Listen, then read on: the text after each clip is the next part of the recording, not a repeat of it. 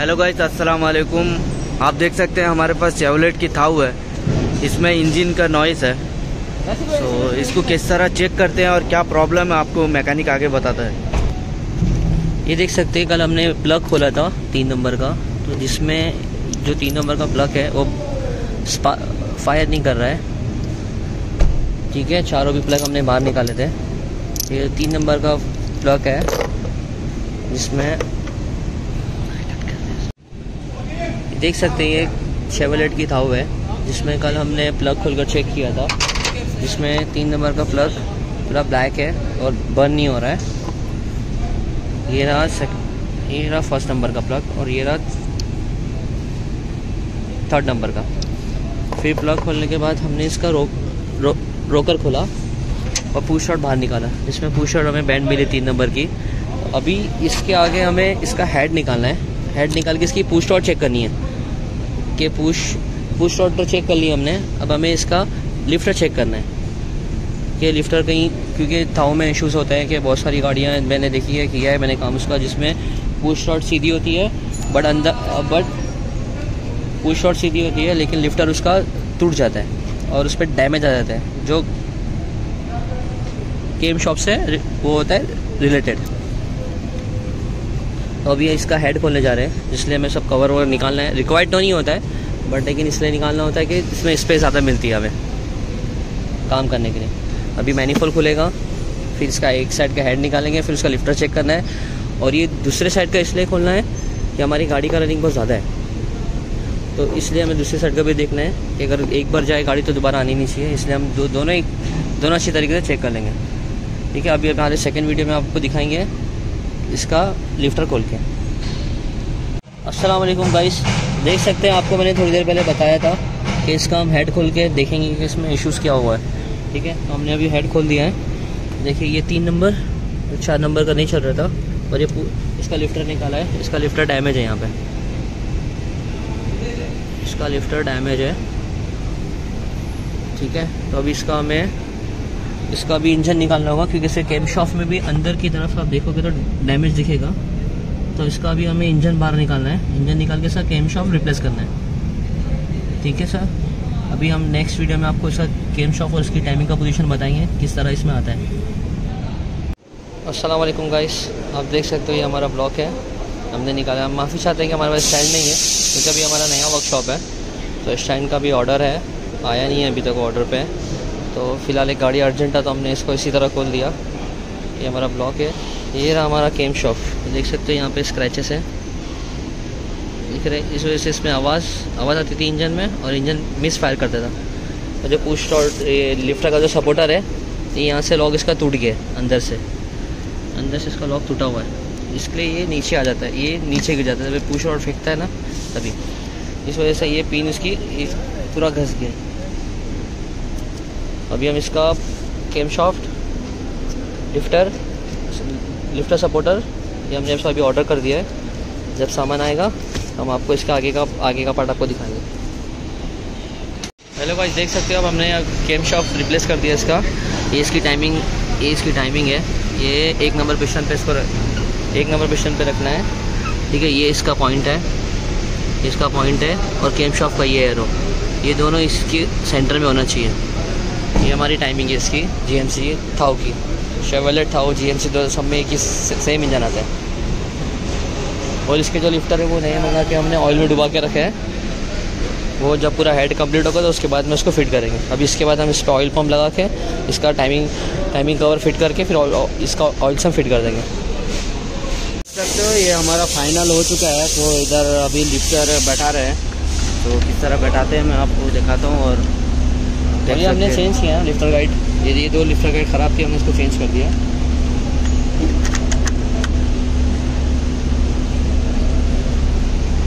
खराब ख़राब वाली। इसका जो लॉक है ख़राब हो गया। ये लॉक ख़राब हो गया। जब एक जब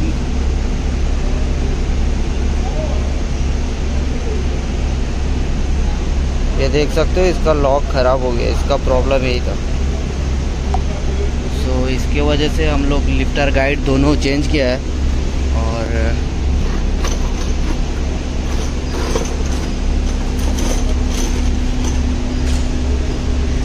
ये जी एम सी थाउ एट सिलेंडर की कार है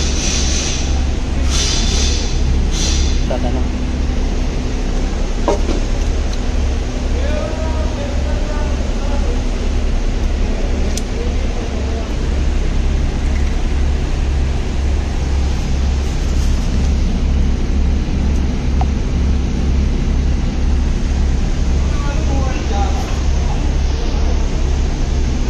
सो कितना फिनिशिंग हमारा टेक्नीशियन सफ़ाई किया इसको।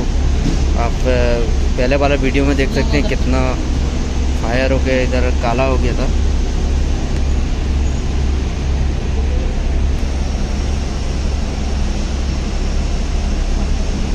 इसका पोजीशन है। जैसे का पोजीशन है फ्रंट में रखना है। यहाँ से तुरंत सप्लाई होता है। अगर कभी आप, कभी इसको गलत लगा देते हो तो इस तरह भी बैठ जाएगी। ठीक है बट ये तुरंत सप्लाई नहीं होगा और गाड़ी ओवर होना शुरू जाएगी। तो इसलिए इसको इस पर लगाना है। ये फ्रंट देखते है बस।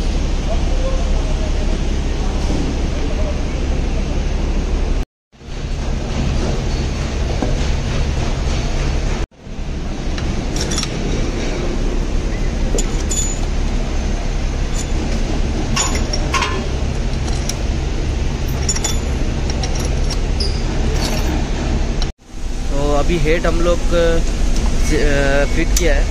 तो इसका देख सकते हो टॉर्क सेट किया है। टेक्नीशियन कितने में सेट किया है? Eighty N M.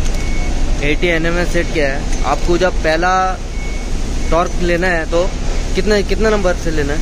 Fifty. Fifty से।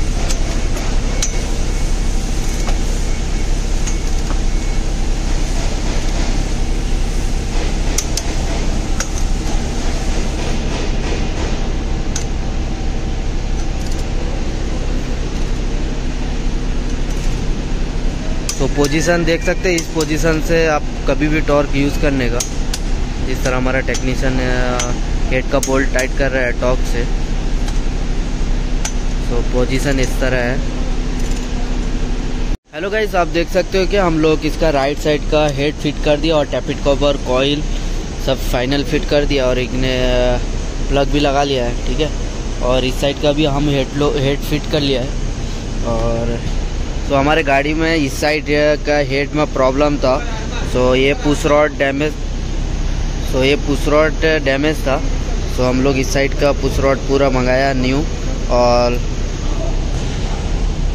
सो इस साइड का भी रोकाराम ख़राब था। सो इसका पूरा इसका रोकाराम भी हम लोग चेंज किए। दो तीन ख़राब था। तो इसको अभी इस तरह फिट करने के बाद रोकाराम लगाने के बाद टैपिट लगाएँगे टैपिट लगाने के बाद। कॉइल ये सब लगा के असेंबली इंजन असेंबली करने के बाद इसको फाइनल हम लोग लेके इंजन में फिट करना है। और मैं गाड़ी इंजन में फिट करने के बाद फाइनली आपको मैं लास्ट वीडियो दिखाता हूँ कि सक्सेस है, क्या है, क्या प्रॉब्लम था, क्या था, मैं आपको दिखाऊँगा, ठीक है? ये थाउ का इंजन है, आठ सिलेंडर का इंजन है। तो गाइस देख सकते हो, मैं इसका इंजन फाइनली फिट कर लिया है। तो असेंबली कर लिया इंजन आगे इंजन में बहुत ज़्यादा नॉइज़ था। तो इसकी वजह से आपको मैं वीडियो में दिखाया कि क्या प्रॉब्लम था इसमें। उस रॉड भी डैमेज था लिफ्टर भी डैमेज था राइट साइड का। तो अभी फाइनल गाड़ी चालू है, देख सकते हो एकदम नॉर्मल कंडीशन में। गाड़ी एकदम ओके है। तो अभी इसको फाइनल टेंडर को बोल के वाइपर का कवर है सब लगाने का। है और बोनेट भी खुला हुआ है। तो इसको फिट करने के बाद इसको टेस्ट लेंगे रोड टेस्ट करेंगे। और देख सकते हैं कि कभी भी काम करने से पहले आपके लिए इंजन लाइट ये सब चेक कर लेने का गाड़ी में था या नहीं पहले। सो ये सब भी चेक करने का वायरिंग में कभी भी चेक कर लेना, देख सकते हो मेरे क्लस्टर में कुछ भी लाइट बीट कुछ भी नहीं है। ठीक है? सो गाड़ी फाइनल है, खाली बॉडी बॉडी सब वाले को अभी क्या के फिट करना रहना है। ठीक है? ओके वालेकुम